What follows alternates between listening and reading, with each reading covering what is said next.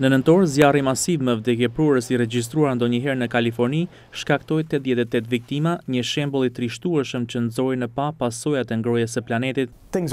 Gjërat po ndryshojnë, njerëzit mund të thonë ç'të duan, por ata që po e përjetojnë ngrohjen globale janë zjarrfikësit. Ata po përballen çdo ditë me këtë situatë. Në shtator, uragani Florence solli shira rekord që shkaktuan vërshime masive në Kaliforni. Nga një anë kërcënimi nga zjarret, në anën tjetër nga uji që i ngjan hendekut midis botës sot dhe asaj se si duhet të jetë. Shkencëtarët e OKB-së publikuan një raport serioz në prag të bisedimeve për klimën që u mbajtën në dhjetor në Poloni. Mundësia për kufizimin e ngrohjes globale në një presje pesë gradë celsius është e vogël, Për këtë do të duhet që çlirimi në shkallë globale i dioksidit të karbonit të bjerë dyzet e pesë për qind nën nivelin e sotëm deri në vitin dy mijë e tridhjetë. Por, vitin e fundit çlirimi i gazeve u rrit rreth dy pikë shtatë për qind, rritja më e madhe që nga viti dy mijë e njëmbëdhjetë. Shkencëtarët e qeverisë amerikane publikuan një raport po aq të zymtë në nëntor lidhur me ndikimin e ndryshimeve klimatike në vend. Presidenti Donald Trump e hodhi poshtë atë.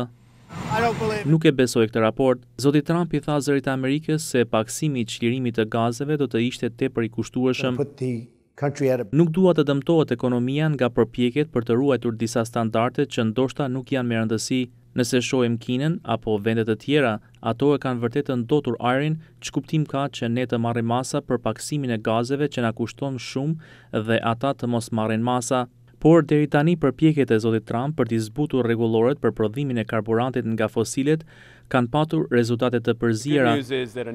Është lajm i mirë që disa nga këto rregullore janë ndaluar në gjykatë, progresi është pak më i ngadaltë kur është fjala për ndryshimin e tyre, por është e qartë se administrata Trump po përpiqet të zhbëjë gjithçka që lidhet me planetin për klimën në dy vitet e fundit.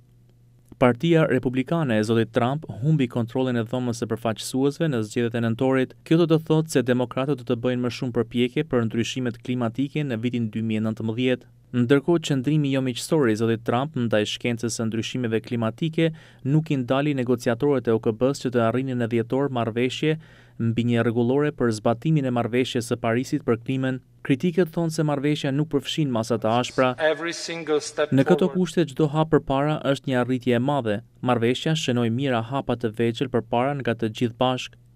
Por, ekspertët paralajmërojnë që hapat duhet të jenë të kujdesshëm. Rritja e taksave ndaj karburanteve për të luftuar ndryshimet klimatike shërbeu si nxitje për protestuesit me jelek të verdhë në rrugët e Parisit. Kush do ta paguajë koston e ndryshimeve klimatike kur të vijë koha për të paguar faturën e mosmarrjes së masave të nevojshme? Kjo është një çështje që i përket dy mijë e nëntëmbëdhjetë-s e më tej.